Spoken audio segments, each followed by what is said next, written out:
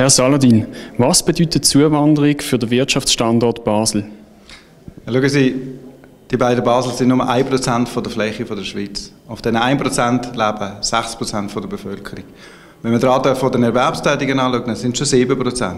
Das zusätzliche Prozent das kommt von den Grenzgängen, die wir haben. Wir haben über 60'000 Leute, die jeden Tag über Grenzen kommen, bei uns arbeiten Und die 7% von den Erwerbstätigen machen 10% vom BIP von der Schweiz. Das heisst, hochproduktive, hochinnovative Jobs.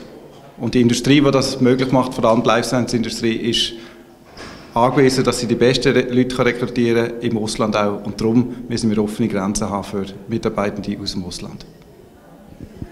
Was für Auswirkungen hat die Einschränkung von der Zuwanderung für den Life Science Standort Basel?